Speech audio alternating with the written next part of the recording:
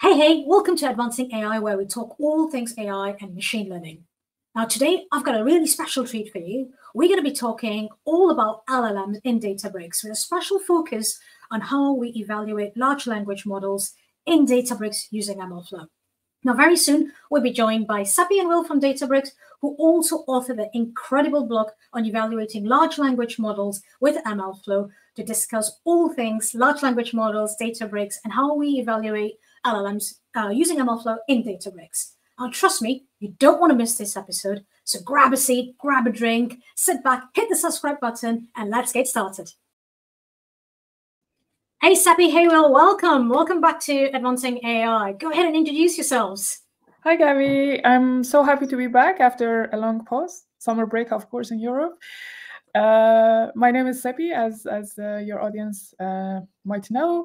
Uh, I I together with some of my colleagues have created MLOps Gym series, and you kindly are making videos in this series with us to uh, explain everything that you need to know for doing MLOps on Databricks.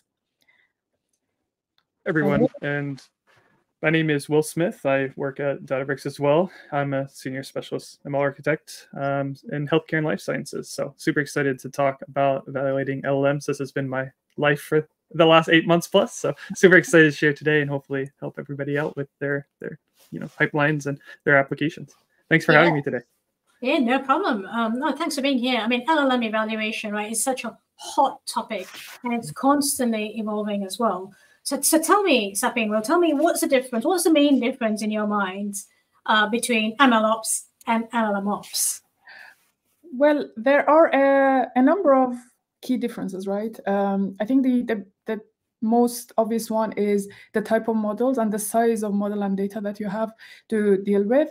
Uh, usually, when we are talking about LLMs, um, these are models that you're not training every day or every other day, similar to other ML models that you might have. Um, the other difference is that the type of data you're working with is usually different than, than the data that you deal with with classic ML. So there's a lot of text involved. There's a lot of other types of data involved if you if you don't think about language models only, but other type of models, generative AI models. So that's a um, another difference. Um, and also you use different training techniques right? Um, with classic uh, ML ops, you you do training and you're done. Yep. But with language models, you might need to do fine tuning, which is different than just training. Yep. You might yep. uh, use different techniques like RAG and so on, or prompt engineering. That's also another difference. Um, Will, do you have anything else to add to yes. this? Yeah, I think it's it's interesting because with the traditional like natural language processing, we would do a ton of different pre-processing steps, right? In terms of like stop word removal, um, punctuation removal, lemmatization, stuff like that.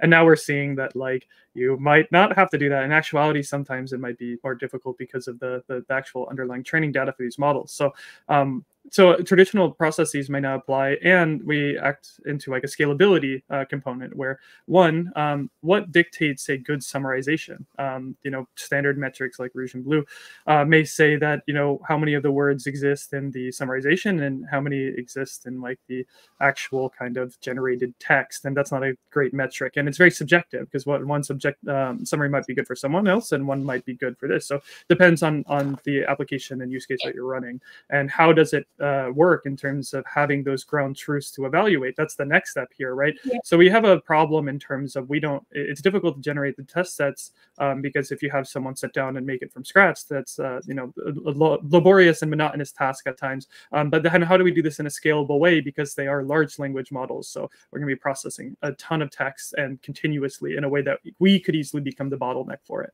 So yeah, yeah. cool. I mean, I think you touched on a couple of points there that just leads nicely to the next question that I have.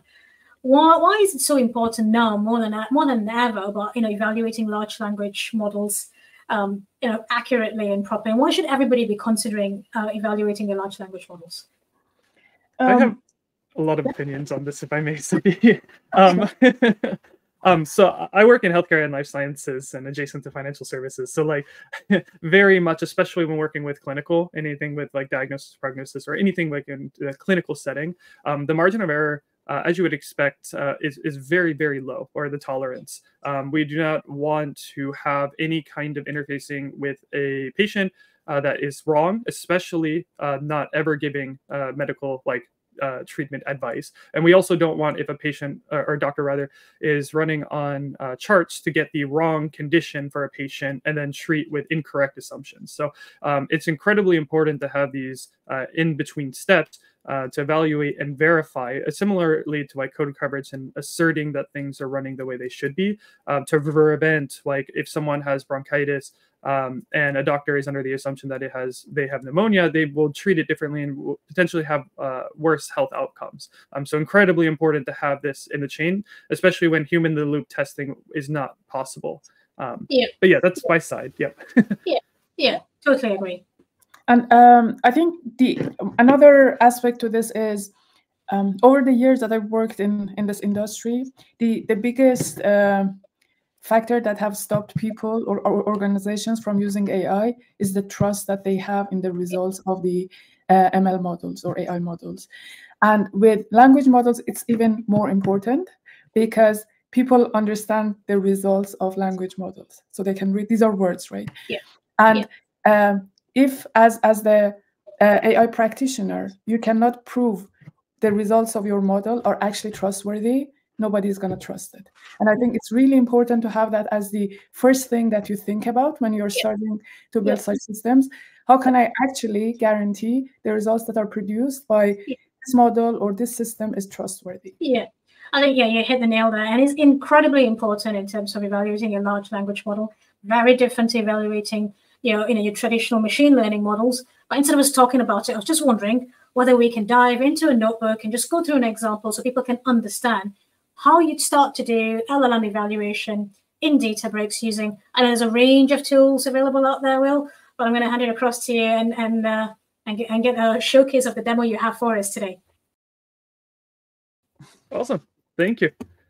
Uh, let me go ahead and share my screen here. And what we'll start with is um, using MLflow for evaluation, like you mentioned, there's a lot of tools and there's a lot of frameworks that are coming out and a lot of really great research behind this as an evolving field. Um, MLflow is, um, you know, the way that we do MLOps at, at Databricks, an open source kind of package that uh, goes across many different kind of frameworks from, you know, time series forecasting all the way down to Hugging Face models. So in this case, um, working with uh, a retrieval augmented generation, like set up with a QA chain uh, with LangChain, and then evaluating it for a number of metrics. So going through this uh, relatively quickly, um, what I wanted to highlight is that uh, at Databricks, we have something called Unity Catalog so that we're able to store all of our, our raw data in there, um, but also um, organize our tables in a way of a three-tiered namespace of catalog, schema, and table. Um, with the volumes themselves, I can just put whatever I want in it. So uh, you can use something in terms of the setup LangChain um, to pull these MLflow documents, uh, chunk them appropriately, uh, and then save them to a table to calculate the embeddings later. Um, so that's what I'm doing here in terms of getting the page content, getting them into a document format, and then chunking appropriately to put into my vector store. Um, and so what I mean by vector store uh, is that there is a vector search client that we have that is our vector database that will actually have a number of options, but in this case, going to compute the embeddings in an incremental fashion so that I will have a uh, optimized vector database to retrieve the appropriate documents from uh, to provide context to my large language model upon whenever I have a prompt. Um, and so here, after I create that as a retriever, all with LangChain, we have a very um, deep integration with LangChain and actually just released LangChain-Databricks as a dedicated package. Um, uh, after I wrap the uh, foundation model APIs in this case, I have a GitHub that also shows using OpenAI as well as customly served models. Uh, Databricks allows you to use whatever LLMs you want. Um, in this case, we actually surface um, a series of APIs with the most popular uh, open source models like Llama 3. Uh, DBRX is our own large language model. It's a mixture of experts. So in this case, um, I'm just going to wrap this with LangChain class. And then here is like really where I guess everything wraps together in terms of actually building the QA chain. And we'll get to the meat of where you really wanted to look at here in terms of yep. evaluation. Yep. Um, so here, once I build the QA chain, um, I'm going to scroll down here. And this is where it really starts to get interesting, where this evaluation data frame is actually a pandas data frame that I created uh, manually. So I have a series of questions as well as the ground truth that essentially the LLM will look at and say, this is the definition of good, right? Whenever there's a generation. Um, again, I manually created this. So this was a, a pure text kind of data frame that yeah. I had to determine my own expertise of uh, wow. what are some good questions and what are some good ground truths that yeah. I would expect the model to do, which is, yeah. is subjective. Um, I was going to just um, jump in there very quickly, right? I mean, Absolutely. if you this this as well, if you don't have any ground to truth, it's not very scalable, is it? So, but there are methods out there to help people generate uh, question and answers pairs for example, Ragas generating synthetic data at the back of the documents that we're embedding. I'm not sure there's any other uh, methods that you're aware of, Will and Seppi, but that is something that we use as well to help accelerate that, that ground truth generation for our LLM evaluation. And I was just wondering, have you used that? Have you, you know, come across um, using Ragas, for example, to generate synthetic data like you have just done here manually? Yeah, absolutely. Yep. Um, the, yep. With with uh, we've actually used Ragas as well as DSPy and uh, okay. Langsmith. So tons of different options here, and I think yeah, absolutely, that's the way I think going to move forward because it's the only way to start doing these evaluation testing sets in a scalable fashion. Yeah. Like one of the things that I see with different teams that I work with um, is that at the end of the day, a lot of times it's really difficult to wrangle people and say, "Hey, can you sit down and make this this uh, you know test set for this LLM?" And then doing that once is already difficult. Having someone to essentially maintain an extra asset that they may or may not even you know have the right opinions for, or you know it's the common human error that like if it's is it early in the morning? Did is it after lunch or whatever? There's a lot of variables in it that you're basically putting your application that could touch um, many many many people uh, in a way that it could be v- very affected by various factors. So absolutely i think that is the way that's going to go and um, definitely if you're if we have time today i would love to show ragas and show right. how it works yeah. in a in a programmatic way. Um, another quick question. If you were doing this say for example you wanted to just test out a manual set of data that you're creating, like you have done here, Will, how many question and answers pairs would you suggest to start off with? Would it be 50, hundreds, thousands? Is there is there kind of a, a good number there to represent a an evaluation um, data size? Sure. I think Seppi, you've done this uh, many, many times. Do you mind if I hand that to you and see your opinion on that? Yeah, uh, sure. It depends on what um, you want to evaluate, right? I think okay. the most important thing is that you have a represent representative set of questions. So, for example, if you want your um, chain to be able to answer these five different types of questions, okay. maybe yes and no questions, maybe more uh, creative type of questions, yeah. some um, retrieval-based questions, uh, so you will have to have representatives of all these type of questions in your uh, set. Now, what is the magic number? Is it 100? Is it 1,000? Is it 10,000? I can't tell you. Okay. each use case. The other thing that I wanted to actually to add to this is, uh, in terms of creating evaluation data set, if you're working on Databricks, you have a really nice option with um, Databricks agent um, framework. Yeah. Uh, so with the agent framework, uh, you get a UI. So you have an agent, so you create an agent and you can start asking questions to it. Uh, and it gives you a UI to evaluate whether the answer that is generated as a human being, is it good or bad? Right. And all of these are being backed by Unity Catalog. So every question you ask and every feedback you uh, give, it it is recorded in a Unity catalog table yes. you can later on use as your evaluation data set. So you can open it up to your internal users or external users as tests and let them just go wild with your application right. and then generate the evaluation data set that you would need. Cool. So there's, there's lots of different ways of generating a data set for evaluation. Cool. Yeah. Mm-hmm. Yep. Absolutely. And on that vein, um, like somebody was mentioning, um, it, it, like it explodes out where you have it so that are you testing your retriever? Are you testing your lm is it this task a b c? And and having a compound model set up even if you have like an agentic kind of workload where you have a supervisor now you have to evaluate is the supervisor routing to the correct llm so it, it also adds to the okay um, it, the simplicity that we're aiming for starts to you know get bigger and bigger in terms of the complexity uh, yeah. so i think definitely having a opinionated and like a good foundation to build up to that is pays a lot of dividends in any organization okay. mm-hmm. um, and so i'll end with this one uh, in terms of like somebody was mentioning too there are different kind of uh, evaluation uh, criteria and, and, different metrics here. So in terms of faithfulness, uh, relevance, and you wrap it all up within MLflow evaluation here, and you can see that I have faithfulness, relevance, as well as latency metrics. Um, I know we're running on time, so I'll hop over to what I had for RAGAS today um, as a framework to help evaluating uh, the RAG chains. So showing here, um, all this runs on Databricks and I can surface these notebooks. Absolutely. Um, I do have a GitHub that has a lot of these uh, examples as well as the, the blog. So um, people can go and run this as they as they like. Um, so we're doing pretty much the same thing as we were with MLflow evaluation for the setup. So I don't want to you know belabor that. Um, one thing that's really interesting with with Ragas is that um, there's this test set generator um, class. And these uh, generator LLM critic and embedding, we can do pretty much wrap those however we want um, because it'll take a LangChain um, uh, class. So in this case, I'll actually use a Databricks Foundation Model API, uh, but it can also be like an OpenAI model that is wrapped in a LangChain class. It could be uh, an embedding model or whatever that you maybe loaded from Hugging Face and wrapped. Um, and that's the beauty of this, where uh, you're not going to get locked in because of a decision that you made a long time for model selection, which is super, super important.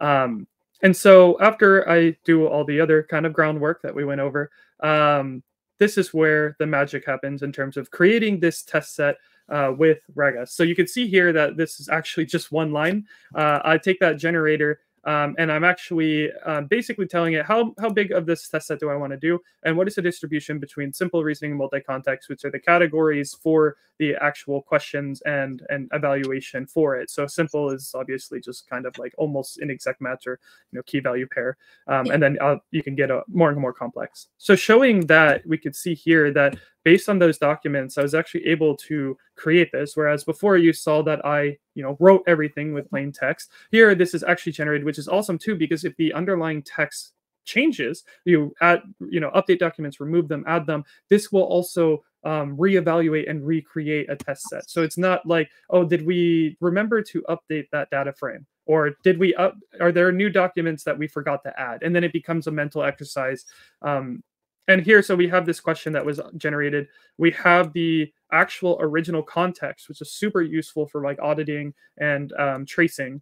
Uh, and then we have the generated ground truth uh, all the way for like here is like a for example a reasoning here where you can see that it's taking information from this document and it should be thinking in this kind of way um, so that's the test set I'll stop there yeah. for a second. yep. I mean, that's that's really cool because if you scroll to the right again, you've got different mm-hmm. categories. You've got your multi-reasoning, which is, I guess, as you can imagine, if, if I was doing this, I'd find it incredibly challenging to come up with a question that's relevant to the document that we're embedding, um, that's relevant as well. And, and that is just just aids productivity, right? It just helps you generate different, like you've got simple, you've got reasoning, you've got multi-context. that's quite cool. Yep. Absolutely, and and that's uh, also like you. It would be difficult to get into the mindset to do this, but also consistency would be really difficult, right? Because of that, um, and so uh, having a machine do this, and then one thing that we're seeing too is that um, first pass kind of uh, generation with LLMs in a variety of tasks and having a human expert review and correct that ends up saving a lot of time and still is useful of using expertise yeah. instead of yeah. asking an expert to write things from scratch and then evaluate. Yeah. Um, so absolutely. Mm-hmm. One thing that I like to add at Advancing Analytics, we've done this as well, and people have come back and debated, well, it's going to be very expensive because we're using an LLM under the hood to generate this evaluation data. But if you can imagine, if you had to employ three, four, five people to do it, I think your cost will escalate very quickly compared to paying an LLM to do this very quickly. I think in 25 minutes, uh, correct me if I'm wrong, Will, you can generate hundreds of question answer pairs, and it also shows you exactly from you know exactly where it's coming from from the documents. It's always cross-referencing it, showing that it's generating relevant evaluation data sets. Absolutely. No, 100%. And I think like whether you know I think the general truth is that a lot of people want to spend their time doing um, things, not necessarily writing documentation. And so, even like you, you made a great call out, like not only is it a lot cheaper because we're just, you know, this is a matter of tokens on an API, um, and it frees up people so that they could do other things that their expertise, like that's what they want to do and what they should do for an organization. Um, but also in terms of like even due diligence of documentation, a lot of people may get caught up or there's a meeting or whatever, and then suddenly you have a test set that you uh, may not know where the original doc- the text was, yep. and now it's like, okay, did we just throw that out and we wasted, or you know, th- that might not be useful for us. Yeah, mm. I love this. I love this. So thanks, yeah, thank you for this. Yeah, absolutely. The last thing I'll just say is, like we said with the evaluation uh, before, yeah. we can create an evaluation set uh, basically from the LLM itself and then uh, programmatically calculate all these metrics directly within uh, Ragas, and then get a nice little table that we can log and then compare between runs. So uh, I know we already went over, so um, but yeah, thank you so much for having this. And if there are any last questions, happy to answer. Just just to kind of reiterate, all the notebooks will be available, and we'll put it down in the link uh, below. And yeah, mm-hmm. thanks thanks for your time. This has been very yeah, this has been really good. This has been very insightful, and it certainly helps people to understand how to get started. And there's a number of ways. Have you have you got a favorite methodology to do this, Will and Seppi? Well, we love doing things in Databricks, so I use the, the agent framework. okay, okay, okay, cool yeah likewise uh, i also like working in Databricks. so uh, i like making a, honestly a lot of uh, helper files with a lot of these different packages but so far uh, honestly i've really liked ragas. So yeah, i might start using it in my day-to-day so i think yeah for me that, that's been um, my favorite as well and we've used it um, yeah quite a lot here as well. So i'm glad you said that will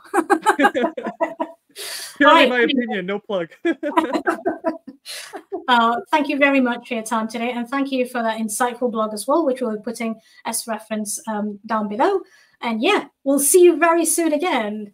Thank you, thank You for having us. Yeah, absolutely. Thank you so much for having us.